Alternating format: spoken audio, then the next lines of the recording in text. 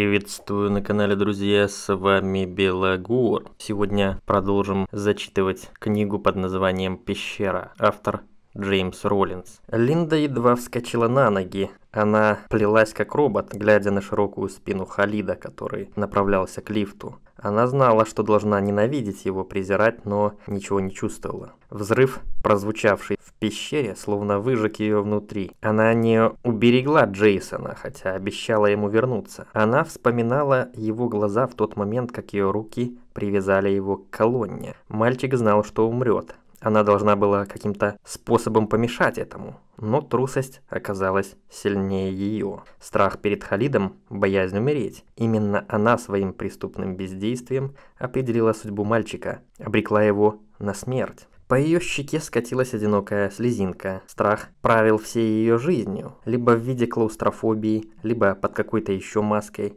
но всегда являлся ее неизменным спутником. И вот теперь ее позорная трусость привела к смерти мальчика. Однако со смертью Джейсона умер и ее страх. Все, что у нее осталось, это чувство вины. Халид, шедший впереди, остановился. «Ты ничего не слышала?» – спросил он. Нет, Линда не слышала ничего особенного, но не сказала об этом. Ей было сложно подобрать даже самые простые слова.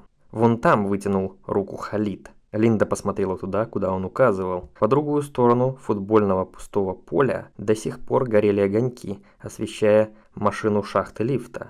Там что-то двигалось. Это была клеть лифта, ползущая вниз. В ней кто-то спускался. Приглядевшись повнимательнее, Линда разглядела стволы винтовок и другого оружия, торчащее сквозь прутья клетки, из-за чего та напоминала огромного стального дикобраза. Прибыло воинское подкрепление, глаза Халида сузились, превратились в две черные щелки. Черт, как неудачно, еще бы несколько минут.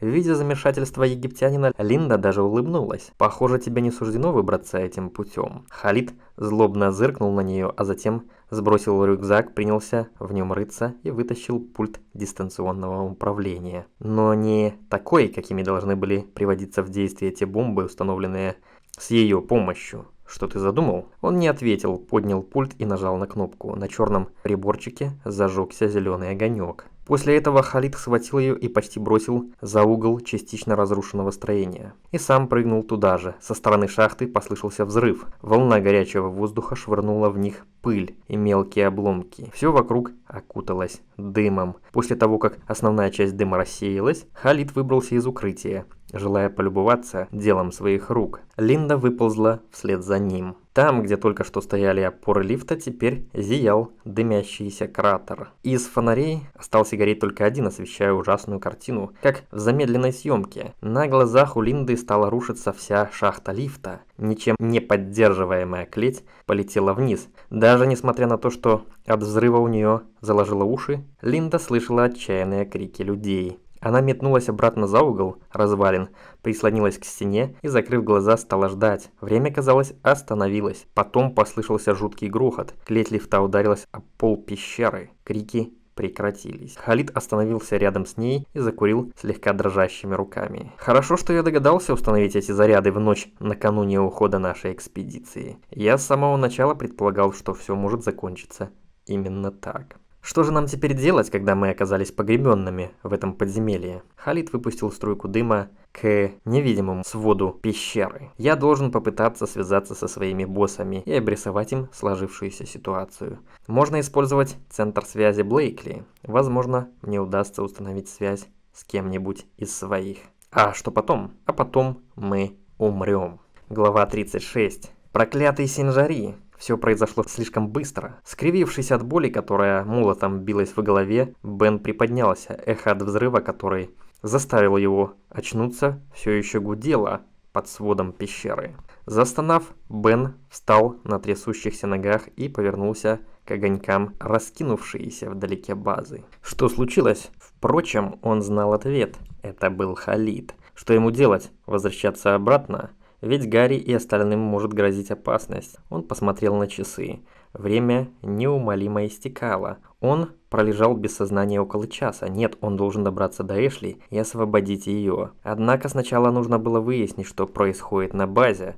Бен сел на пол пещеры, закрыл глаза и отпустил свой разум в свободное плавание. Затем представил себе Напкоби и позвал его. Тот откликнулся сразу же, материализовавшись перед мысленным взором Бена. Вид у него был взъерошенный, шерсть на мохнатой физиономии местами обгорела. Что случилось, Джейсон цел? Напкоби кивнул. Эта штука, клетка, она разрушена. Гарри и мой брат пошли искать твоего врага. Хотят попробовать остановить его. Я забрал мальчика и женщину в комнату. Офис по вашему. Там безопасно. Я буду их охранять. Гарри сказал, что ты должен спешить. Сам знаю. Приведи помощь. Бен прервал мысленный контакт и вскочил на ноги. Он должен принести эту статую обратно раньше, чем... Твою мать! Статуэтки не было на месте.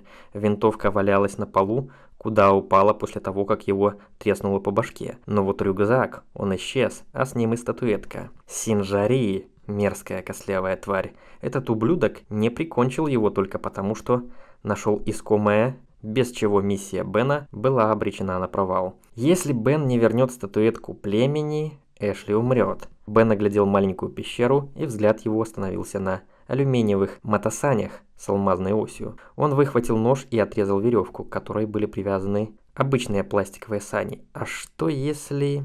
Эшли видела, что Тругула смущен и встревожен ее просьбой, но он все же не устоял перед ее настойчивыми уговорами и проводил их с Майклсоном в пещеру Умба. Для этого ему пришлось грубо расталкивать охотников, оказавшихся на их пути, многие из которых смотрели на него как на сумасшедшего. С помощью пинков и угрожающего рычания ему все же удалось проложить себе дорогу сквозь кипящую от ярости толпу. Теперь Майклсон мерил шагами пещеру с нескрываемым отвращением, поглядывая на статуэтку Умба. «Я всего лишь высказал предположение», — проговорил он. «Зная я, что ты воспримешь его всерьез и станешь рисковать своей жизнью, то и рта бы не раскрыл. «Твое предложение прозвучало вполне обоснованно», — ответила Эшли. «Синжари наверняка вернется в поселение через этот лаз, и мы должны прихватить его здесь и изобличить». «А если он уже вернулся?» Эшли вздохнула. «Я так не думаю, если бы он вернулся, то уже наверняка вопил бы на каждом углу, обвиняя нас во всех тяжких.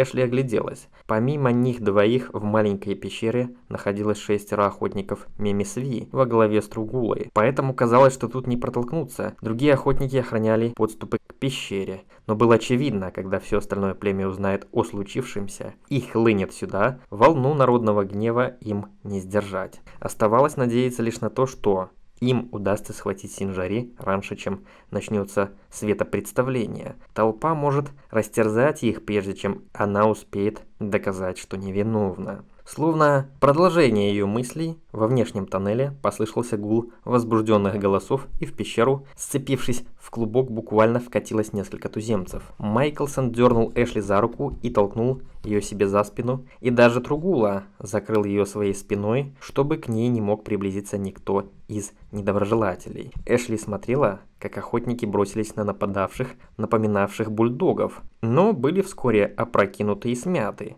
Хуже того, даже от безобидных, на первый взгляд, уколов копья или кинжала нападающих, легко раненые охотники падали и начинали корчиться в страшных конвульсиях. Вскоре на ногах остались лишь она, Майклсон и Тругула. Их окружили шестеро мускулистых бойцовских псов-убийц.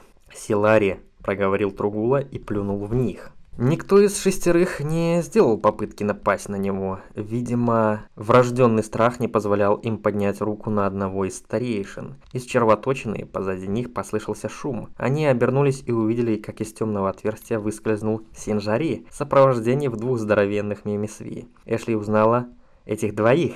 Она и раньше видела их Синжари. Она также заметила внешнее сходство между ними и теми бульдогами, которые напали на пещеру и теперь стояли, переградив путь к выходу. Это были члены клана Синжари, его гвардия. Синжари улыбнулся, глядя на Эшли, обнажив все зубы. Он не произнес ни слова, только попробовал пальцем лезвие кинжала и двинулся к ней. И только тут Эшли, застонав, поняла, она сама привела их всех в западню. Бен открыл дроссельную заслонку до предела и гнал Матасани Гарри на максимальной скорости в 50 миль в час. На вержах его выносило на стену чуть ли не до потолка. Он внимательно всматривался вперед, готовый затормозить в тот момент, когда впереди покажется выход. Вылететь из червоточины на такой скорости означало бы верную смерть. Бен загодя снял винтовку с плеча и держал ее под рукой. «Ну же!» Ну, мысленно пришпоривал он своего коня. Выход наверняка уже недалеко. Может, мои хваленые способности Харихути помогут выяснить, сколько до него осталось. Бен расфокусировал глаза и расслабил тело, но даже раньше, чем он достиг необходимого состояния медитации, к его разуму что-то прикоснулось. Его кто-то звал, и вот перед ним сформировался чей-то образ, смутный, расплывчатый. На фоне летящего навстречу туннеля он напоминал призрак. Бен узнал это изуродованное лицо. Это был Тругула. Вожак охотников несколько раз удивленно моргнул, потом сказал «Торопись! Я и так тороплюсь. Меня уже об этом предупредили. Тогда посмотри на то, что происходит моими глазами». Всего на несколько секунд тоннель исчез, и Бен будто оказался в пещере Умба. От того, что он увидел, сердце сжалось, и видение исчезло. Сейчас он жалел только о том, что не может ехать еще быстрее. Ярость была тем топливом, которое несла его вперед. Майклсон попытался преградить Синджари путь к Эшли, но по знаку костлявого пятера Силари навалились на него и оттащили в сторону. Эшли посмотрела на Тругулу. Тот пытался вырваться из цепки лап двух других убийц и тоже не мог помочь ей. Синджари подошел вплотную к женщине. «Он не поможет, он слаб», Эшли была потрясена. «Ты говоришь на моем языке? Я изучаю врагов. Так нужно, чтобы...» Кослявый замялся, подыскивая подходящие слова. «Узнать их?» – предложила свой вариант Эшли. Сенжари улыбнулся, как если бы она была школьницей, давшей неверный ответ. «Нет, убить их». Поднеся лезвие кинжала к горлу женщины, он посмотрел на нее хитрым взглядом. «Яд» – правильное слово. Он мотнул головой в сторону мертвых охотников. Эшли молча кивнула. Сенжари уколол лезвием кончик собственного пальца и помахал рукой в воздухе, показывая, что с ним ничего не случилось. «Я вождь Силарии. Яд не убивает нас. Мы самые сильные». «А как же Барда?» «Я думала, он ваш вождь. Барда?» Синджари скривился как от кислого. «Он глупый, я сильный». Эшли поняла, что происходит что-то вроде государственного переворота, который планировался уже давно. Их появление здесь едва не спутало карты Синджари, но он сумел обратить себя на пользу и это. Теперь вождь я. Я говорю убить вас чужих и других чужих, кто приходит сюда. Эшли покачала головой. Ты не сможешь победить, тебе не позволит Тругула и охотники. В глазах Костлявого вновь вспыхнул хитрый огонек. Показав на Тругулу, он сказал, «Плохой помог вам чужим убить мамбу». Затем он постучал рукояткой кинжала себе в грудь. «Я узнал», он рубанул кинжалом в воздухе. «Я остановил. Значит, Тругуля уготована роль соучастника преступления и заговорщика. Разумеется, мертвые не говорят. Эшли перевела взгляд на вожака охотников, но тот стоял, прикрыв глаза, словно дремал или находился в трансе. Синжари тоже заметил это и ткнул охотника пальцем в бок, чтобы привлечь его внимание. В течение нескольких минут они обменивались злыми фразами. Наконец Синжари повернулся к соплеменнику спиной и снова уставился на Эшли. Глупый позвал на помощь. Но тут никого нет, мамба мертвый. Он оскалился. Сейчас ты тоже мертвый. Синджари занес кинжал и шагнул к Эшли. Она подалась назад, но наткнулась на стоящих позади Силари. В этот момент, когда кослявый убийца схватил Эшли за горло, из червоточины послышался шум. Синджари Удивленно повернул голову, а Эшли, которая сразу же узнала знакомый звук, отпрыгнула в сторону. В следующее мгновение из отверстия червоточины вылетели мотосани, пронеслись по полу пещеры и врезались в группу Силари, сбив нескольких из них с ног. Воспользовавшись возникшим замешательством, Бен вскочил с саней раньше, чем туземцы поняли, что происходит. Подняв винтовку, он направил ее на Синжари и угрожающим тоном проговорил – «А ну-ка отпусти даму, кореш. Синжари зашипел, как разъяренный кракан, и взмахнул кинжалом, целясь в грудь Эшли. Бен выстрелил. На глазах у Эшли левая часть черепа Синжари отлетела в сторону, словно срубленная невидимым мечом. Несколько секунд он стоял неподвижно с занесенным кинжалом, но затем безжизненным кулем повалился на пол. Двое Силари бросились к Бену, однако он навсегда успокоил их двумя выстрелами и мрачно спросил, обращаясь к остальным. «Еще желающие будут?» Внезапно из-за спин окаменевших Силари появилась ощетинившаяся длинными копьями группа охотников. «Познакомьтесь с моими друзьями», – с улыбкой сказал Бен, повернувшись к Эшли и Майклсону. «Я пригласил их на нашу вечеринку по пути сюда. Замечательное средство связи – это чертова Хэри Хути. Настанет день, когда оно разорит все телефонные компании. Оставшихся силарий, которые после гибели вожака оказались полностью деморализованы, скрутили и грубо вытолкали из пещеры. Эшли бросилась к Бену и крепко обняла его. «Ты цел? Я так боялась. Я не знала, что задумал Синжари, зачем он отправился наверх». Она крепко прижалась к нему, уткнулась носом в его грудь и произнесла, наконец, слова, которые так давно хотела ему сказать. «Я люблю тебя». «Что?» – спросил Бен, отстранив Эшли от себя и заглянув ей в лицо. «Я не ослышался. Я тебя люблю». «Ах, это!» Он снова привлек ее к себе. «Я давно это знаю, просто ждал, пока ты сама догадаешься». «Заткнись!» Эшли подняла лицо и поцеловала его. Бен приблизил губы к ее уху и прошептал. «Знаешь, там наверху есть еще кое-кто, кто очень хочет, чтобы его крепко обняли и поцеловали».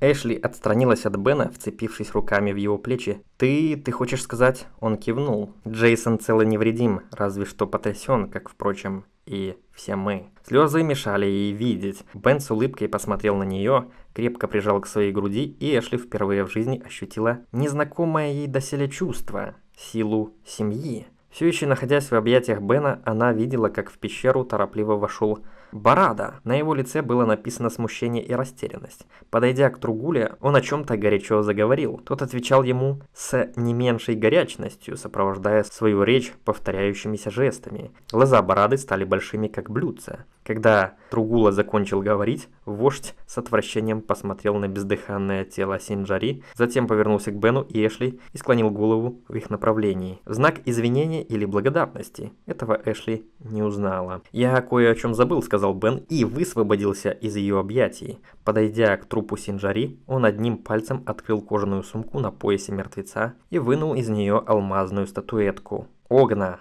торжественно провозгласил он, подняв ее так, чтобы было видно всем, а затем водрузил на пьедестал по соседству с тем, на котором стояла мужская фигурка. Сладкая парочка, не правда ли? Глава 37. Джейсон сидел на перепачканном штукатуркой стуле в развороченной приемной офиса доктора Блейкли. На коленях у него лежала его любимая игрушка – геймбой, и мальчик, высунув от усердия язык пытался склеить скотчем ее лопнувший пластмассовый корпус. Гарри и его странные приятели куда-то отправились, намереваясь осмотреть окрестности и выяснить, не грозит ли откуда-нибудь опасность. Джейсону было строго-настрого велено оставаться в кабинете Блейкли вместе с Энди, но от ее вида у него по телу бежали мурашки. Девица, как ненормальная, молча сидела, уставившись пространство, и беспристранно накручивала на палец прядь волос. Когда Джейсон встал и вышел, она не сказала ни слова, как ему показалось, даже не заметила его. Джейсон вспомнил, как Бен спас его, как было бы здорово, если бы точно так же он спас и привез сюда его маму. Внезапно он услышал негромкий звук, может, вернулся Гарри или кто-то еще. Звук повторился, казалось, будто кто-то снаружи перекладывает доски из одного штабеля в другой. Джейсон осторожно встал и шагнул по направлению к кабинету, где в любой момент можно было запереться, однако когда непонятный звук послышался снова, любопытство превозмогло страх. Осторожно ступая, мальчик стал красться к развороченному выходу из здания. Он только взглянет одним глазком на то, что там шумит и тут же вернется обратно. А вдруг это что-то важное? Затаив дыхание, чтобы не выдать себя, он обошел перевернутый стул, приблизился к дверному проему, присел на корточки и затаился, ожидая, когда звук повторится, чтобы определить его источник. Боясь что-нибудь упустить, он даже не моргал, однако ничего не происходило. Снаружи была все та же воронка с обожженными краями и груда наваленных взрывом обломков. Джейсон уже начал распрямляться, решив, что ему почудилось, как вдруг снова услышал его и увидел. Из груды деревянных обломков, кирпичей и битого стекла, всего в 20 футов от здания, высунулась треугольная черная морда. Если бы она не пошевелилась, мальчик не заметил бы ее. Но до такой степени она сливалась с царящей вокруг грязью и камнями. Морда снова шевельнулась, раздвигая завалившие ее обломки. И, наконец, открылся большой черный глаз. Джейсону показалось, что он смотрит прямо на него. Это должно быть то самое чудовище, которое собиралось сожрать его, когда он был привязан к колонне которого Бен прозвал Крошка Тим. Джейсон застыл, боясь пошевелиться. Он смотрел, как ящер вновь уронил голову на пол пещеры. Он, видимо, был оглушен, контужен взрывом и только начинал приходить в себя. Нужно предупредить взрослых о том, что зверь все еще жив. И вдруг послышался новый звук. Это был плач. Плакала знакомая женщина. На открытое пространство выбежала Линда, ее лицо было перепачкано сажей, волосы спутались и торчали в разные стороны, а взгляд заплаканных глаз устремлен на воронку от взрыва. Следом за ней на свет вышел Халид с сигаретой в руке. «Дело сделано», – равнодушно проговорил он. «Мальчишки больше нет». Линда, спотыкаясь, подошла к дальнему краю воронки и двинулась вдоль него. Джейсон понял, что она вот-вот окажется совсем близко от морды зверя, которого не видит. Выскочив из своего укрытия, он бросился к воронке отчаянно крича. «Линда, уходи оттуда! Беги!» При виде его Линда вздрогнула, ее руки взлетели к щекам, как две испуганные птицы. Джейсон? Появление мальчика ошеломило ее. Она сделала неверный шаг, поскользнулась и покатилась на дно воронки. «Берегись!» Ящер, разбросав в стороны обломки, которыми был завален, с грозным рычанием поднялся на задние ноги, выскочив перед людьми, как черт из табакерки. Из того места, где должна была находиться его передняя лапа, торчал осколок белой кости. Весь бок животного был разодран, словно по нему выстрелили картечью из пушки. Зверь ринулся к воронке, на дне которой барахталась Линда. «Нет!» – завопил Джейсон. Халид, обезумев от страха, принялся, не целясь, стрелять в ящера. Животное, развернувшись на звук выстрелов, кинулось к Халиду. Тот, крича как безумец, шарил в карманах, Глаза его выкатились из орбит. Он, казалось, даже не заметил, когда зверь схватил его за середину тела и вздернул в воздух. Лишь слабый стон слетел с его губ, на которых теперь пузырилась розовая пена. Однако вес человека оказался чрезмерным для ослабевшего животного, и ящер, не выпуская добычи, с грохотом рухнул на груду обломков, из-под которой только что выбрался. Линда с искаженным от ужаса лицом на четвереньках ползла к противоположному краю воронки, пытаясь оказаться как можно дальше от этого места, где лежало чудовище, по-прежнему сжимавшее в зубах египтянина. Руки и ноги Халида были свободны, и он, подобно большому червяку, извивался в пасти ящера. В одной руке он продолжал держать пистолет, а второй лихорадочно шарил в нагрудном кармане, пытаясь что-то достать оттуда. Наконец, с торжествующим криком, больше напоминавшим предсмертный хрип, он вытащил руку из кармана, а Джейсон сразу же узнал зажатый в ней предмет. Один раз он уже видел его в руках Халида. Это был пульт дистанционного управления для подрыва бомб на расстоянии. Линда тоже увидела его. «Не надо!» – пронзительно закричала она. На лице Халида появилась мучительная улыбка. Из его рта струйками сбегала кровь. Он поднял руку. «Нет!» – снова крикнула женщина. Но египтянин не успел нажать на кнопку. Чудовище забилось в предсмертных судорогах, встряхнув свою жертву, и Халид не удержал пульт. Он вылетел из его руки и упал в нескольких футах поодаль. Халид потянул руку к устройству, но не смог дотянуться до него. Челюсти умирающего монстра стали слабеть, и Халид, крича от боли, дюйм за дюймом стал буквально выдирать себя из его пасти. Еще немного и он дотянется. Вот пальцы Халида уже прикоснулись к гладкой пластиковой поверхности. Но схватить пульт он не смог. Джейсон не стал ждать и кинулся вперед. «Джейсон, вернись!» – кричала Линда, однако мальчик не слушал ее. Сделав последний рывок, он схватил пульт, за секунду до того, как на нем успели сомкнуться пальцы египтянина. Халид грязно выругался,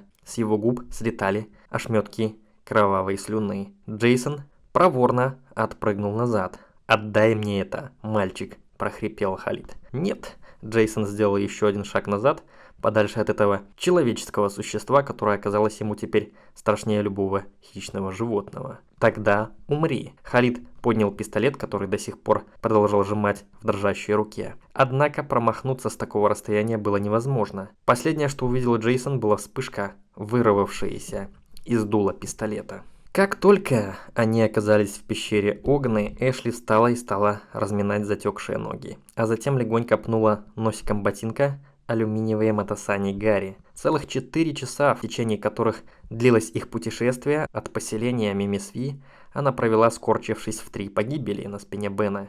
Теперь ей казалось, что нижняя и верхняя части ее тела существуют отдельно друг от друга и никак не хотят соединяться в единое целое. «Ох, черт!» – скривилась она, сделав первый шаг. На пороге пещеры появился Бен, ходивший на разведку. «Идем», – махнул он ей рукой. «Все чисто». Выбравшись из тесной норы и окинув взглядом необъятную альфа-пещеру, раскинувшуюся перед ней, Эшли не смогла удержаться от улыбки. Ведь она уже думала, что никогда больше не увидит это место. И вот, наконец-то. Однако, когда она увидела средство передвижения, на котором им предстояло добираться до базы, ее улыбку словно стерли. «Мотоцикл?» – растерянно спросила она, спускаясь по склону стены следом за Беном. «Ага», – радостно подтвердил тот. «Надо отдать должное Гарри, он делает классные машины. А ты что, не любишь мотоциклы?» Эшли молча кивнула, хотя в этот момент Бен стоял к ней спиной. Ей было грустно от того, что брата Гарри Денниса временно пришлось оставить у Мими Сви, но разбитое колено не позволило бы ему сейчас проделать весь этот путь. Группа охотников должна была переправить его наверх чуть позже. «Мне все равно», с запозданием ответила она на вопрос Бена. Хоть на мотоцикле, хоть на осле. Главное поскорее увидеть Джейсона. «Понятно», – озабоченно проговорил он, думая уже о чем-то другом. «Меня волнует, что я никак не могу добраться до Напкоби. Забирайся на заднее сиденье». Через минуту он уже гнал мотоцикл в темноте, ориентируясь на далекие огни базы. Эшли держала Бена за талию, положив голову ему на плечо. Она прижалась к нему так крепко, что ей казалось, будто она ощущает удары его сердца. «Поглядывай по сторонам!» – прокричал Бен. «Тут повсюду шляются эти зубастые твари. Однако, несмотря на браваду, Эшли внимательно высматривала, не движется ли что-то в их сторону. Нет, кроме темноты, вокруг них не было ничего. Вскоре кругом посветлело. Непроглядная ночь превратилась в тусклый сумрак. Они приближались к базе. Воздух наполнила невыносимая вонь. «Боже милостивый!» Эшли с отвращением зажала нос. «Ничего, скоро привыкнешь», — сказал Бен. Нет, она ни за какие ковришки не хотела бы привыкать к этому смраду. Когда Эшли увидела разорение, царящее на базе, она невольно закрыла глаза. «Как же смог уцелеть в этом ужасе Джейсон?» «Мы почти приехали», — крикнул Бен. Внезапно справа от них из-за перевернутой машины вынурнула голова рептилии. Бен вовремя увидел тварь, поддал газу, и мотоцикл с ревом пронесся мимо обескураженного зверя. «Нам сюда», — сказал Бен, указывая на конечную цель их путешествия. Эшли сразу узнала это место. Здание, в котором совсем недавно располагался офис Блейкли, хотя и было покрыто копотью, но все же стояло почти нетронутым. Бен сбросил скорость до минимальной и завернул за угол постройки. При виде картины, открывшейся ее взгляду, кровь застыла в жилах Эшли. «Нет!» — крикнула она, спрыгнув с мотоцикла и бросилась туда, где в нескольких ярдах от здания безжизненной грудой лежала туша ящера, сжимавшая в челюстях мертвого Халида. Невидящий взгляд египтянина был устремлен вверх. Но не только это зрелище привело ее в ужас. Гарри склонился над маленькой фигуркой, лежавшей на каменном полу. «Нет!» – молилась она на бегу. «Только не сейчас, только не это!» Бен схватил ее за руку и дернул назад. «Подожди!» – суровым голосом сказал он. Эшли выдернула руку и побежала к Гарри. Он отодвинулся, пропуская ее, подбежал Бен и остановился рядом с Эшли. «Это не Джейсон, Эшли», – проговорил он. «Именно об этом я и хотел сказать тебе, поняв по твоему лицу, о чем ты подумала. Эшли смотрела на мертвого маленького охотника, грудь которого была пробита пулей. «Кто это?» – спросила она. Бен опустился на колени рядом с телом Мими Сви и положил руку ему на плечо. «Это Напкоби. Неудивительно, что я не мог его дозваться. Он поднял глаза на Гарри. Что здесь произошло? С трудом сдерживая подступающие к горлу слезы, Гарри объяснил. После того, как взрыв обрушил клеть лифта с солдатами, я отправился туда, чтобы выяснить, уцелел ли кто-нибудь. Пока меня не было, вернулся Халид и Линда. Затем Гарри рассказал о нападении Кракана, о том, как зверь схватил египтянина, и тот напоследок, уже умирая, пытался взорвать пещеру. Охотники до поры до времени, не вмешиваясь, дожидались подходящего момента. Когда же Джейсон забрал пульт, Халид попытался убить его. Напкоби сбил мальчика с ног и принял предназначавшуюся ему пулю. Вот и все. Эшли опустилась на колени рядом с Беном. Он спас жизнь моему мальчику. Да, кивнул Гарри.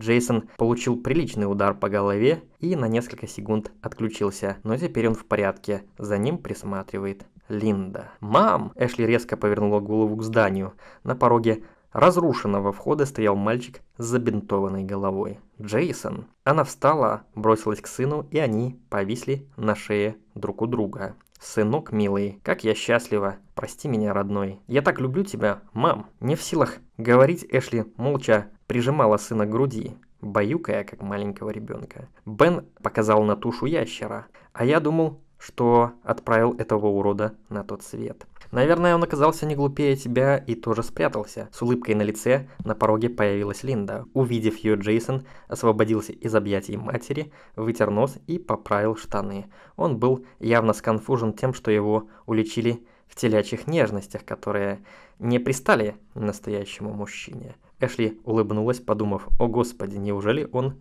уже такой большой? Смотрите, вдруг окликнул их Гарри, указывая куда-то вверх. Эшли встала и присоединилась к остальным, которые, задрав головы, смотрели куда-то, куда показывает Гарри. Там танцевали какие-то непонятные огоньки. В свете нескольких еще горевших прожекторов стало видно, что сверху неторопливо спускаются раздутые купола парашютов. Эшли видела, как с уцелевшей верхушки, напоминающей скелет шахты лифта, прыгают все новые и новые парашютисты. В руках каждый из них держал галогеновый фонарь. Вскоре их были уже сотни, и они деловито, как муравьи, разбегались во все концы базы. Нет, пожалуй, они больше напоминали не муравьев, а светлячков, снующих в темноте ночи. «Подоспела наша кавалерия», – проговорил Гарри. И, как всегда вовремя, насмешливо фыркнул Бен. Эпилог. Гора Эребус, Антарктида. Бен забрался в кровать и с блаженным вздохом свернулся калачиком, прижавшись к Эшли. Она застонала во сне и повернулась на спину. Бен положил ладонь на ее уже начавший округляться живот. Парню через пять месяцев появляться на свет, а она все никак не может расстаться со своей наукой. Только и знает, что твердить «культура мимисви». Может ли быть что-нибудь важнее? Зная ее, Бен не сомневался, эта женщина отложит в сторону ручку и бумагу только после того, как у нее отойдут воды. Откинувшись головой на согнутую в локте руку, он улыбнулся, глядя в невидимый потолок пещеры. Базу Альфа уже почти восстановили. Биологи создали акустический репеллент на базе территории, разработанной Линдой. Он доказал свою эффективность и отпугивал краканов, а собранная ею команда биологов совершила еще одно важное открытие. Вопреки утверждению Мамбы, эрозия – созданного мимисви защитного кольца фунгуса вовсе не была вызвана нарушением связи между женским и мужскими началами Огны и Умба. Причиной тому стало появление в подземном мире новых видов лишайника, которые помимо своей воли занесли сюда люди с поверхности планеты. Пришельцы оказались сильнее и стали теснить хозяев по всем фронтам. Получается, что Синджари был прав. В бедах Мимисви, хоть и косвенно, все же были повинны люди.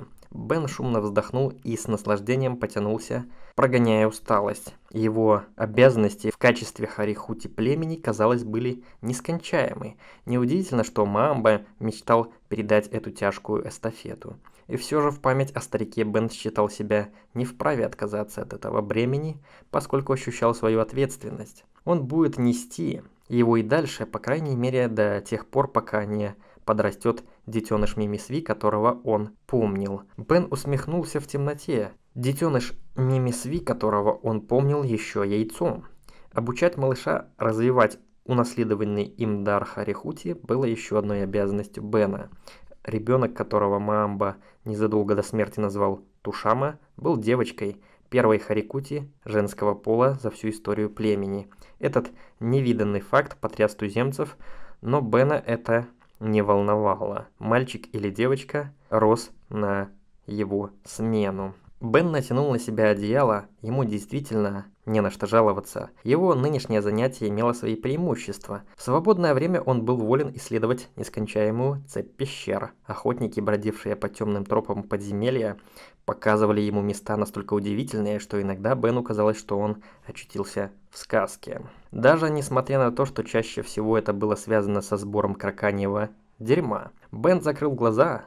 Скоро наступит утро. Он перевернулся на бок и обнял Эшли за талию. Уже когда сон начал обволакивать его своей прозрачной паутиной, он почувствовал прикосновение к своему сознанию, слабое и осторожное. Кто-то звал его. Бен открыл свой разум этому зову, но контакт тут же пропал, оставив после себя лишь ощущение теплого ветерка, прикоснувшееся к горячей щеке. Кто это был? И тут Бен ощутил, как под его рукой в животе Эшли пошевелился ребенок и вспомнил слова «мамбы». Зов крови силен.